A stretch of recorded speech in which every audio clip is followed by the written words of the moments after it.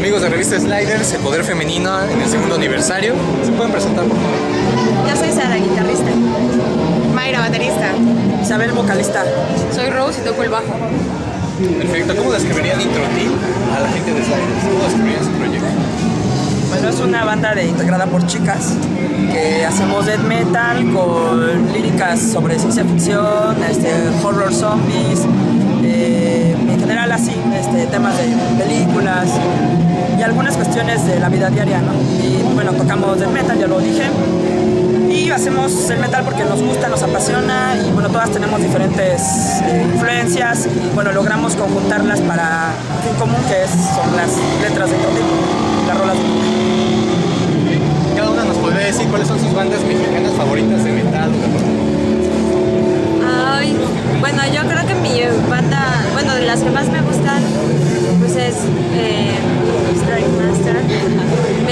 Golem, me gusta Muluk Parks.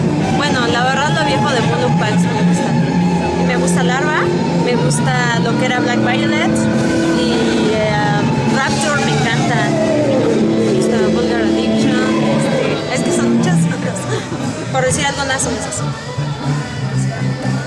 pues para mí, o sea, sí hay pues diferentes bandas e incluso pues diferentes géneros, ¿no? Por ejemplo, me gusta mucho War Cabinet, que es más, bueno, una mezcla de varias cosas, pero es muy buena banda. Me gusta también Strike Master, eh, Rapture también, que es de Conchadón. Este, la verdad es que son muchas, pero se me vienen a la cabeza solamente esas. Pues igual, ¿no? Son, son, afortunadamente sí tenemos bastante calidad aquí en México, ¿no? Entonces, pues mis influencias así de bandas mexicanas son desde Luzbel, Agony Lord, Cenotap, y las actuales, pues podría ser eh, Surgery, eh, pues varias, pues es que son, son un montón, la verdad son un montón, este, pues básicamente esas, Surgery, eh, no sé, eh, Buffett, y así varias. Pues sí, pues a mí me gusta Profanator, eh, Raven God, Bajen también, mm, Surgery, Strike Master también tocan, tocan bien. Pues ya, hasta ahí. Ok, para las bandas que están empezando y que ven que está complicado, sobre todo por el género, ¿qué consejo les dan ustedes?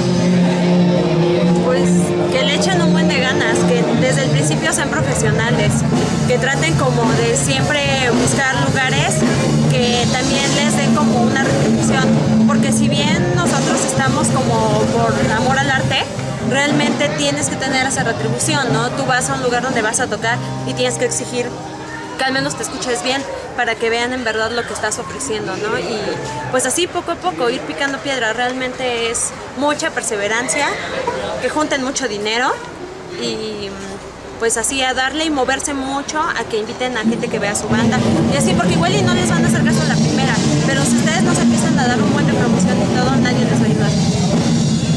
Bueno, pienso también que, que la constancia y la disciplina como músico primero para pues obviamente dar algo de calidad, ¿no?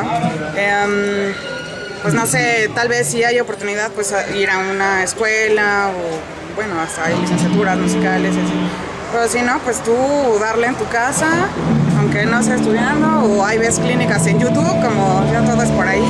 Pero este, constancia, disciplina y pues yo creo que eso también es parte importante aparte de lo que dijo Sarina.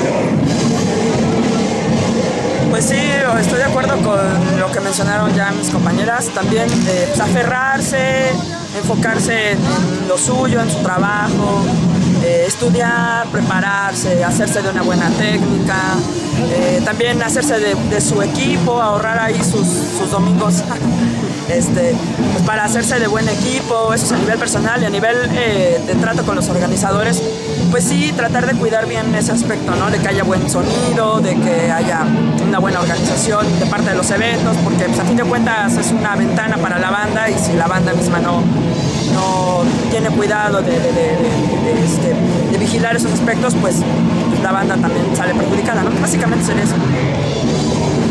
Yo estoy más de acuerdo con Mayra, o sea, con disciplina, que tú te, te avientes a practicarle unas buenas horas al día en tu instrumento para ser mejor y mejorar como banda, porque pues sí, luego hay veces que se estancan, ya no suenan bien, y pues también con humildad, porque pues igual, si también te, se te suben los humos, pues ya también como que a la gente no le va a agradar y pues también vas a quedar. También que hagan lo que quieran, o sea, si ustedes quieren tocar de eso, quieren tocar trash, hagan lo que quieran, sin importar lo que las personas digan y que se lleven bien con los integrantes, es muy importante también, que tengan una buena relación, porque si no, igual que uno ya se peleó con este, ya vale, ¿no? Pues sí, básicamente eso. Héctor, les agradecemos mucho. Disculpen